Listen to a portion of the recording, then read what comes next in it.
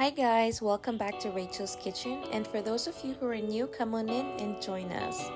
Today, I will be sharing with you my bagels recipe. If you enjoy this video, please like, share, subscribe and hit that notification button. Thank you.